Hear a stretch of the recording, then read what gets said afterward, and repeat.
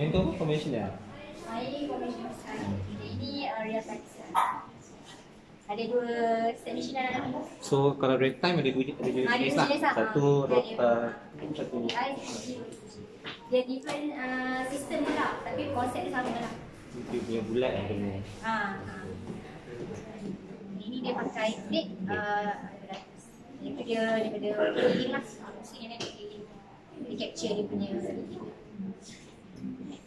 So bi- biasa bila pakai conventional bila pakai Ah, tengok projek. Based on projek lah. Usually kita akan buat on uh, conventional dulu lah. Kalau macam conventional, kita dah buat ini sensitivity, ada condition, and then kita nak buat reconfirmation, kita boleh guna real time. so real time ni untuk recompression je. Ha, macam ah, Tapi dari segi ah, costing sama ke? Ah, Dia dia memang mahal. mahal. This one mahal. This one uh, targeted so dia more to macam kita specific design lah. Right? Biasa kita guna tagman lah. Kalau nak kurang kita guna cyber clean lah. Tapi less sensitive lah saya compare dengan. Tag- tag- Tagman. Tagman. Tagman lah. Kita tagkan uh, adalah dengan dia punya dye.